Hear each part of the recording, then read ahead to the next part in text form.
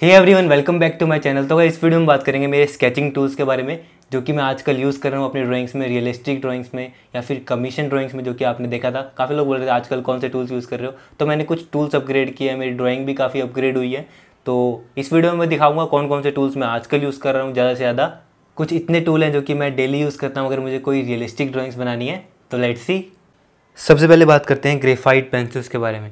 तो graphite pencils जो मैं यूज़ कर रहा हूँ आजकल, वो है मोनो हंड्रेड की two H, three H, four H, F और सिक्स बी। तो ये कुछ ग्रेड्स हैं जो कि मैं आजकल यूज़ कर रहा हूँ। जो two H, three H, four H F है, ये मैं लाइट लेयरिंग के लिए यूज़ कर रहा हूँ। अगर मुझे फेस पे शेडिंग करनी है, बिल्कुल लाइट टेक्सचर के लिए तो उसके लिए मैं इन चार ग्रेड्स का यूज़ कर रहा हूँ और डार्क के लिए मैं सिक्स बी का यूज़ कर रहा हूँ। अगर मुझे इससे डार्क ग्रेड की पेंसिल यूज़ करनी हो तो मैं यूज़ करता हूँ आर्ट लाइन की टेन बी ग्रेफाइट पेंसिल जो कि मुझे इससे भी ज़्यादा डार्क लगती है।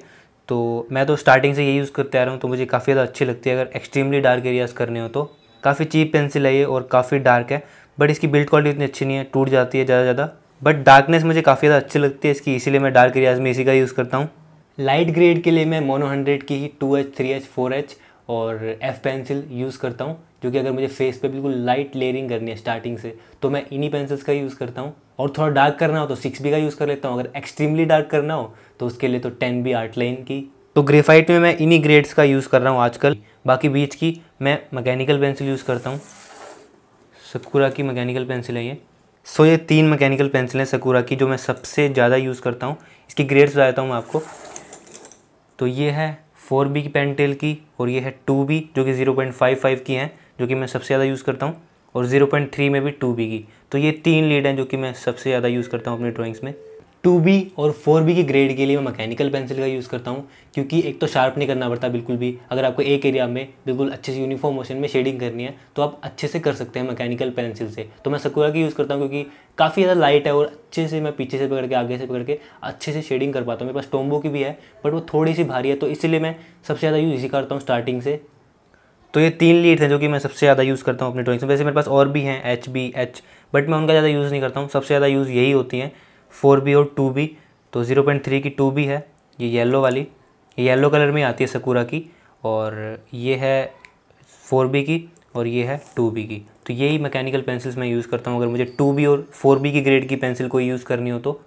और डार्क एरियाज़ के लिए और हेयर के लिए मैं यूज़ करता हूँ कैमलिन की सॉफ्ट और नॉर्मल चारकोल पेंसिल सॉफ्ट सबसे ज़्यादा यूज़ होती है।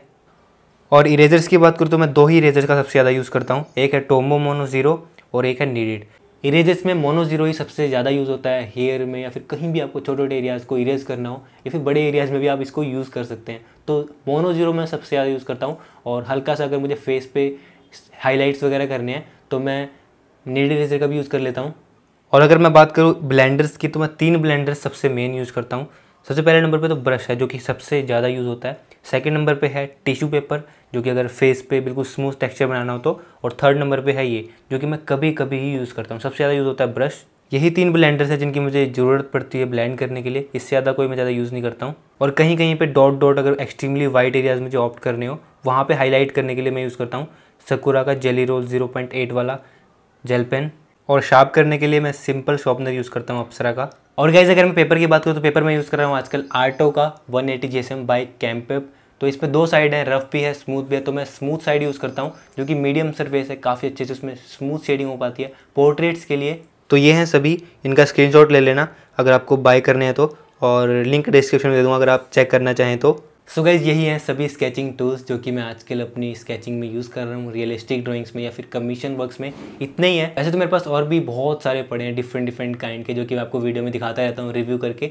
बट मेनली जो डेली यूज़ होते हैं कमीशन वर्क में या फिर कोई भी रियलिस्टिक मुझे वीडियो बनानी हो तो यही है। सो so गई इस वीडियो में इतना ही। आई होप इस वीडियो से आपको काफ़ी ज़्यादा हेल्प मिली होगी। हेल्प मिली तो वीडियो को लाइक ज़रूर कर देना और चैनल को सब्सक्राइब कर लेना। तो मिलते हैं जल्दी ही नेक्स्ट वीडियो में। तब तक के लिए do practice do improve take care and thank you so much for watching